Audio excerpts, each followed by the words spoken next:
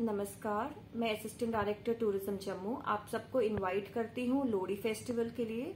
इस बार डायरेक्टरेट हमारा लोहड़ी फेस्टिवल दो जगह मना रहा है। 12 जनवरी को 4 बजे के बाद आप हमारे साथ लोहड़ी मना सकते हैं सांबा फोर्ट में, जो एक हिस्टोरिक फोर्ट है, और सांबा वाले वहाँ पे बहुत धूमधाम से इस फेस्टिवल का स्वागत करते हैं। उसके बाद हमारे पास यहाँ पे जम्मू में रघुनाथ बाज़ार में हम लोग लोहड़ी मना रहे हैं।